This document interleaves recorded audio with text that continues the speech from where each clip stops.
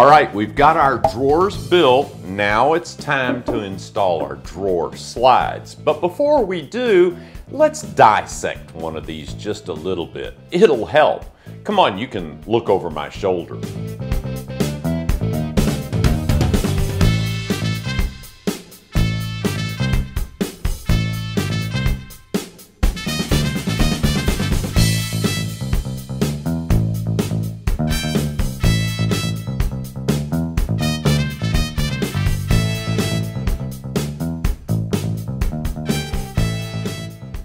All right, now what we're using here is a KV brand drawer slide, but there are a number of different brands of drawer slides on the market and they're all good.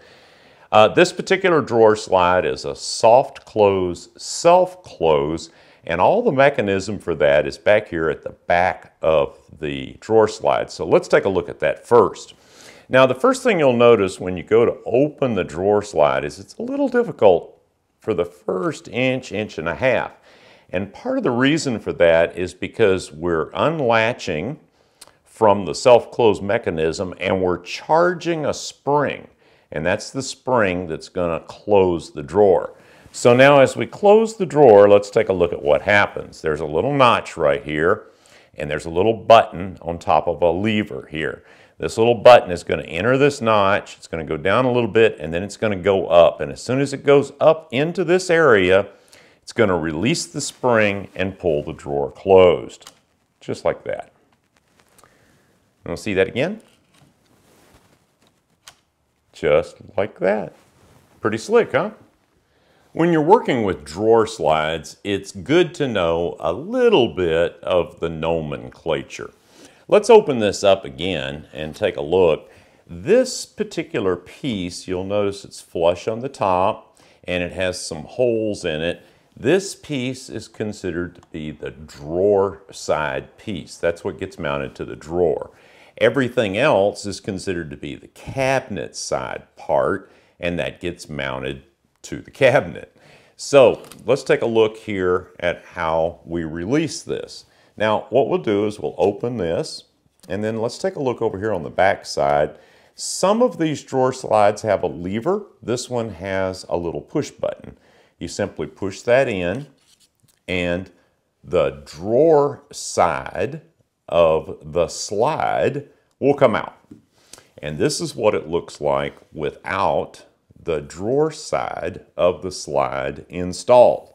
You can see the ball bearings here. And as you move this back and forth, you can actually see the mounting holes in the back on the cabinet side of the drawer slide. Okay? Now, on this particular slide, because it is a self-close, soft close, and this mechanism is, I wouldn't say it's fragile, but it certainly can be broken, they actually recommend that you snap this up, let that retract, and push this in by hand while you're mounting your drawer slide. That gives you freedom of movement of this piece and it protects this part of the mechanism. Then when you reinstall the drawer slide, the drawer side of the slide into the mechanism, it'll come down and catch this just as it did before and snap into place. And now it's ready to go again. Just like that. All right, in order to best demonstrate the installation of drawer slides, I've mocked up a cabinet here that's partially constructed so that we can see what's going on. I built a face frame and I built basically a cabinet but left off about two-thirds of this wall I didn't install a back and there's no top on it. So we can get some light in here and we'll be able to see what's going on. Now the first thing that we need to do is we need to take our drawer and confirm that we have sized this correctly. And if you'll recall, the tolerances are very, very tight. So we need this dimension here to be exactly one inch or a half an inch on either side. And that is exactly what we've got maybe a 64th extra, and that's going to be okay. The most important two considerations in installing mechanical drawer slides is first, parallelism. These need to be not closer together at the back, not closer together at the front, not out of parallel either direction, but absolutely parallel with one another. And they need to be perfectly level, not going up, not going down, but perfectly level with the cabinet. Now, there are some jigs in the market that are available to help you accomplish that. This is fairly typical of one of those jigs. There's a magnet here to hold the drawer slide. The drawer slide rests on a rail here on the bottom and shoves up to a little plastic nubbin here on the end. And then ostensibly you can clamp this into place and get a straight drawer slide installation. Unfortunately, in my experience, this just doesn't work very well. Um, several things I think can cause this to be problematic. Number one, the face of the slide is the only thing against the edge of the face frame. Therefore, you could be, I'm exaggerating this for the video, but you could be at an angle like this or an angle like this, off just a little bit, not enough to really tell until you start to install the drawer.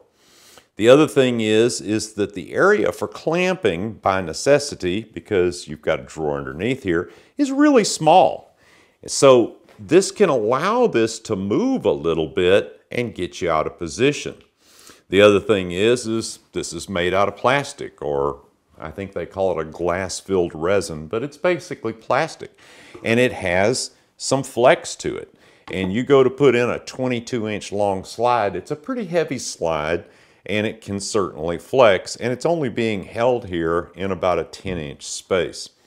The other thing I don't like about this is the thickness of this ledge elevates this slide a quarter of an inch off of the lower rail and this nubbin back here on the back that indexes the front of the slide actually sets the front of the slide an eighth of an inch back from the face of the face frame, even though the directions for the slides themselves tell you that on a face frame installation to mount this flush with the face frame.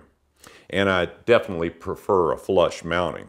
So I don't use the jig I've never had much luck with it. I just do it a little bit simpler. And the way I do that is to use essentially a shim. And what I do is measure from the inside side of the cabinet to the inside edge of the face frame. Now normally I would measure that up here, but I have this cut away for the video. So I measured it down here and it measures 15 sixteenths of an inch. So I cut a piece of stock, 15 sixteenths of an inch wide, and I put it in here just to verify that when it's up against the wall of the cabinet, it's flush with the edge of the face frame, and it is. So then what I'll do is I'll just clamp this in the back, even with the edge of the uh, rear frame, which would be the inside wall of the cabinet, and this inside edge of this shim is going to exactly space this drawer slide the same as the inside edge of the face frame. That'll be very clear when I start to do that. Now, by the way, you could normally just make your shim, say six inches long, and just use some blue painter's tape and attach it wherever you were putting in your slide. But because I don't have a wall over here, I made this long enough to go down and sit on the floor of the cabinet to help hold it in place. So when we're ready to go, I'll just put a clamp here and then we'll set our slide in here, flush to the bottom of the rail, flush to the side of the stile, flush to the inside of the shim, and then all we have to do worry about is getting it level. These drawer slides come in even inch increments, 12, 14, 16, 18, 20, etc. They don't come in odd numbered lengths. And the cabinet that I mocked up here is 13 and a quarter inches inside from back to front. So I'm using a 12 inch long slide. So in order to make this work, I'm gonna use this rear mounting bracket, snaps on. You can see there are a number of mounting hole options here, and this just snaps in like that to the slide. And then all you really need to do is just put it in here and get it pretty much to the length that you want. That's pretty close right there. And you're ready to go. So I've clamped in my spacer or shim, and that's going to give me a level dimension this way. So we know we're going to be parallel to the side of the cabinet, parallel relative to the face frame, and when we do the same thing over here, this one will be parallel to this one. So the front of the slide is resting on the bottom rail of this drawer opening. All we have to do now is get this level. All right, so the first step, first thing I want to do is I want to go ahead and remove the drawer side piece. And remember this particular slide, it's a push button. Just push that in, that'll slide right out. And then, like we looked at a few minutes ago, I want to push this little button up and let this retract so that this is in all the way. Then all I'm going to do is lay this here. I'm going to flush it up to the front. You can use a little piece of wood to make sure you get that exactly right, or you can just do it with your fingers. And I want to hold that pretty much as level as I can get. And then I want to move that front piece so I can get access to the hole. And then, fortunately, my Festool bit is magnetic, so it'll hold the screw. All I got to do is just put the screw in there, center it in that hole, and drive it in. All right, now my drawer slide is mounted in the right position this way and this way, but we want to make sure that the back is perfectly level. How are we going to do that? Well, we're going to do it real simple. What we're going to do is we're going to measure up to the bottom of the rail, and that is exactly 13 and a quarter inches. And I'm going to cut a stick 13 and a quarter inches long to put under the back side and then screw in the back mounting plate. That's simple. All right, so now I'm going to snap on my rear bracket. I'll extend it till it's flush with the back where it's going to get screwed in and I'll take my little stick that I cut, make sure that the slide is resting on that, and I'm going to put in a screw. And this drawer slide will be installed and perfectly located. Just that easy.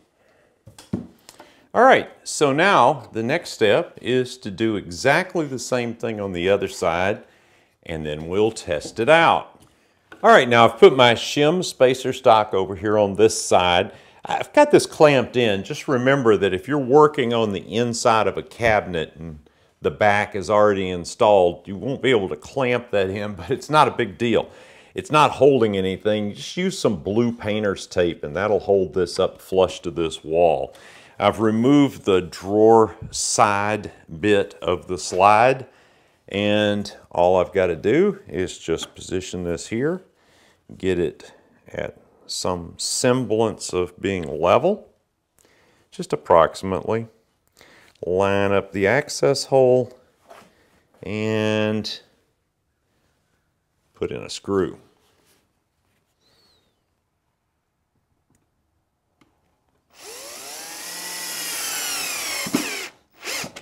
Okay, now with that screw installed, I can line up my little height stick, push this up to the spacer, and put a screw in the back. And we're pretty much good to go with those pieces. So take out the height spacer, and this, I would undo the blue painter's tape and slide my little spacer stock out. Okay, so our two drawer slides are installed on the cabinet side. Now it's time to install the drawer and that's going to be really easy because we're not going to use any jigs or anything. We're going to make this real straightforward and simple. All right, a little quick story here. Um, one day after finishing putting some laminate on a top, I had some leftover that I was about to throw away and I decided to cut it up into small pieces. And I actually have a Ziploc bag full of these things in different sizes and shapes and they make kind of perfect shims. They're about a 32nd of an inch thick and one side is a little rough so it doesn't slide too well and the other side does slide well and they're just really good shim stock. So what I've done is I've taken two just because I want about a 16th of an inch of space and I'm just going to tape them right here to the bottom of the rail of our face frame. And that's just to give us a little space off the bottom of the drawer so the drawer doesn't hit the wood when it's sliding back and forth. I'll pull this drawer slide out a little bit. And now all we have to do is just put our drawer in. And I like to put it in somewhere around halfway so it's semi-balanced on its own. And then just pull the drawer slide cabinet side piece out so that it's flush with the front. Then I'm going to take a level. This is just part of my Starrett combination square. And I'm just going to level that up. Make sure this is even with the front of the cabinet. And put in a screw.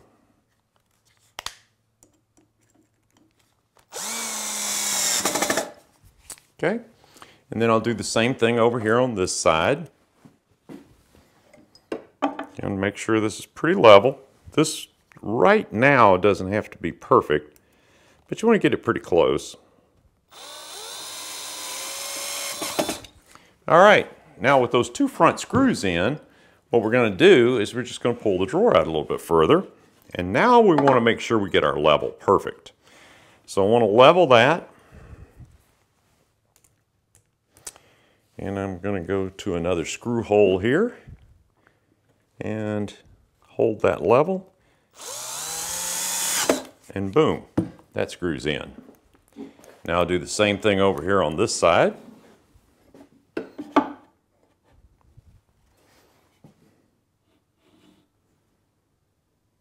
Hold this level.